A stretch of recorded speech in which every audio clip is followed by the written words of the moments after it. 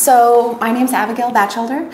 I'm a current postdoc here at UCSF. I'm actually with the TRIM postdoc uh, through the Osher Center, and I am focused. I'm a clinical psychologist with a training in um, public health as well. Um, I'm very interested in um, thinking about the way emotion and substance abuse contribute to engagement in high risk behavior and self care. I always really enjoyed science. Um, I I really liked it as a kid. I um, got really into it. I would say um, in early middle school, I ended up um, taking this advanced science course at a college where I got to do experiments, and um, it was really it was really fun. And we actually tested like lake water, or river water, I think it was, and I just I really liked it. And then in college, I started to think about um, science as a way to um, make an impact or try to provide evidence for improving um, healthcare for underserved individuals, and that really continued my motivation to a different level. After college, I did research work. I thought I wanted to get a PhD in clinical psychology, and then I um, I ended up getting very interested in public health, and in public health, I really started thinking about um, this idea of co occurring epidemics like HIV and substance abuse and mental health issues and how they exacerbate one another over time and perpetuate disease burden on vulnerable populations. And that really got to me to where I am today. I'm recently starting the postdoc, so my days are looking a little bit different than they were in the past. But up until now, I've had some clinical work, so I see patients one on one or in a group setting.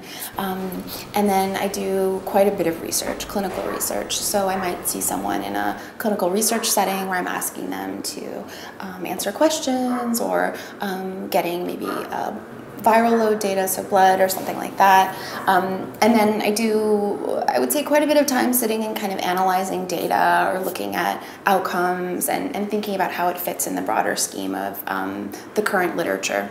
I'm very interested in the way problems like emotional problems and also behavioral problems like using substances contribute to um, taking or not taking care of oneself. So, for example, an individual who feels really bad about themselves and who might be using drugs to feel maybe a little bit better or not feel um, might be less likely to take their medication that they need to survive or might be less likely to protect themselves or other people um, from the spread of an illness like HIV.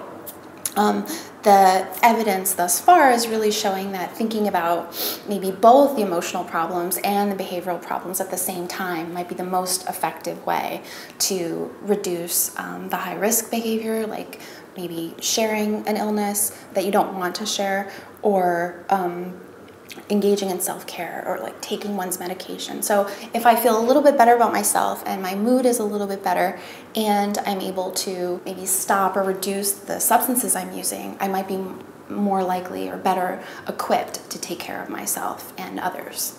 Trauma is a complex thing that is really um, integrated into a lot of our uh, the way our bodies work and the way we act and the way we feel about ourselves.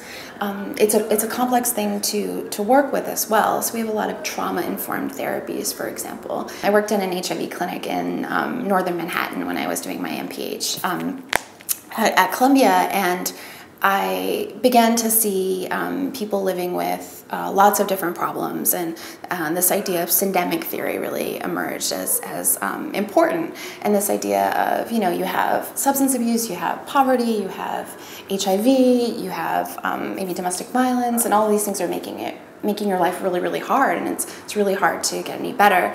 Um, and then there's somebody who is somehow doing better or doing okay or getting a little bit better over time. And I think that really brought into focus this idea of resiliency and that that got me really excited and thinking about public mental health and how as a psychologist you can kind of improve or help people um, improve their own state of being despite these um, co-occurring problems and and that really was instrumental in helping me see that um, mental health care and clinical psychology could make a big impact on a public health level